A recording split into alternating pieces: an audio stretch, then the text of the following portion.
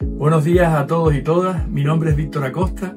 Quiero invitar a toda la comunidad educativa del Perú a participar en el próximo curso internacional que el CEPAL organiza en Lima en el mes de agosto bajo el título Educación para Todos, un enfoque desde la neurodiversidad.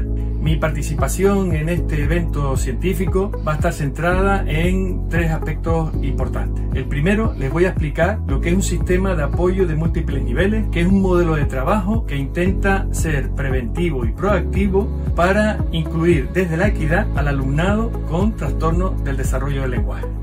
Intentamos garantizar que la inclusión no sea solo un acto de presencia en las aulas, sino que sobre todo este alumnado tenga participación y progreso. Sin progreso no hay posibilidades de vida.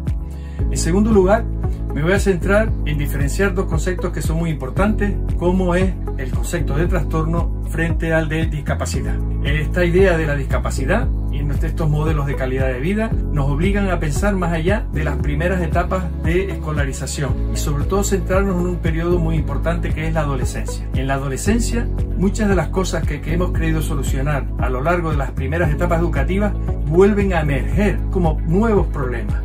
Y eso lo tenemos que tener en cuenta si queremos abordar, insisto, y dar posibilidades de vida al alumnado con trastornos del desarrollo del lenguaje.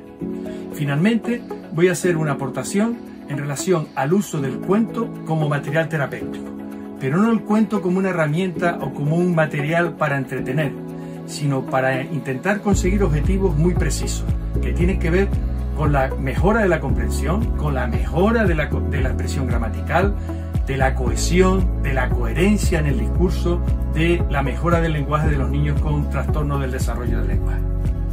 Muchas gracias, los espero en Lima en el mes de agosto, allí nos veremos todos.